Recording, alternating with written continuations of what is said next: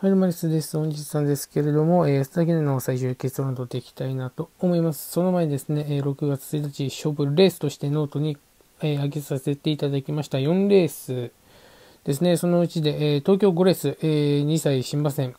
えー、こちら本命のウィンターベル、えー、こちらね、2番人気ながら、えー、1着に好走してくれましたと。続いて、京都5レース、こちらもメイクデビュー新馬戦になっているんですけれども、えー、本命湘南ザナドゥ、えー、こちらも2番人気ながら2着に、えー、構想してくれましたと。まあ、新馬戦ね、うまいと自覚持っておりますので、えー、来週からもね、ぜひ、えー、買っていただければと思います。そして、ナロー記念ですね。こちらも本命ボッケリーニが、えー、2着、カエル人気馬、ヨーホレイクが1着と。ありがとうございます。まあ、硬い決着ではあったんですけども、ただにロードデルレイがね、ちょっと出走取り消ししちゃって、硬い決着ではあったんですけれども、まあ、当たったので良かったとしましょう。というわけで、えー、安田県ですね、えー、本命は、えー、ダノンスコーピオンにしました。えー、大外枠大歓迎。まあ、詰まることはないと思いますし、東京マイルの戸先っていうのは、えー、非常に信用できるかなと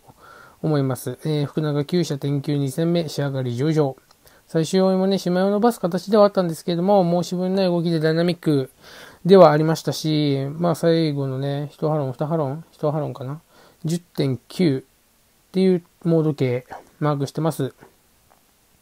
まあ、買い置きですね。はい。ここまで落ち差がつくほど力の差っていうのはないと思いますし、まあ、今回ね、美穂滞在での競馬っていうところで、まあ、輸送がない分馬の負担もね、少なくなっております。えー、勝負かけてきていると思いますので、えー、褒めにさせていただきました。カエル人気馬ですね、ロマンチックウォーリアーにしました。まあ、最初を見るとね、非常に買いたくなりましたね。まあ、久々のマイルにはなるんですけれども、まあ、かつてはゴールデン60とは差のない競馬もしてますし、で、そこに加えて初来日ではあるんですが、まあ、俺は問題ないと見てます。もう追い切りを見る感じでしっかり東京の、えー、芝っていうのを捉えて走っていますし、まあ、力を出せる状態かなと、個人的には思っております。まあ、日本オーツで一番人気にはなってるんですけれども、まあ、致し方ないかなと。能力は確実に抜けてるんでね、まあ、しょうがないのかなと思ってます。えー、カイロアナウマジオグリフです。まあ、調教は良かったんですけれども、まあ、東京マイルがどうかってところはね、えー、非常に、まあ、注目するべきポイントかなと思います。ただ、まあ、両馬場では厳しそうなんですけども、まあ、天気が怪しいので、渋ってくれれば、えー、十分チャンスあるのかなと思います。芝に戻してね、2戦惜しい競馬続いてますし、まあ相手も比較的楽ではあるので、まあなんとか次に繋がるようなレースになってくれればなと、個人的には思っております。えー、今回も危険な人気馬なしで、えー、注目馬を、えー、2と上げさせていただきます。えー、1頭目、ボイチバブルですね。まあ、香港マイルではナミュール、ソウルラッシュ、セリフォス。まあ、ここら辺に干渉してますし、能力は上位かなと思っております。えー、おつみ読みもありますし、香港版のワンツーも、えー、あると思っております。えー、2度目、ウィンカーネリアンですね。まあ、陣営自体は花にはこだわらないと言ってはいるんですけれども、まあ、おそらく安城の、まあ、気持ち的には、まあ、普通に花切っていくのかなと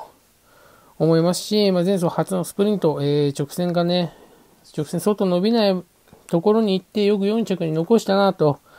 思いましたし、非常にね、能力の高さを、え、見せたレースかなと思います。まあ、すんなり判断主張できればチャンスはあると思いますし、まあ、三浦樹輝のね、G1 初制覇というところも、えー、十分期待できるのかなと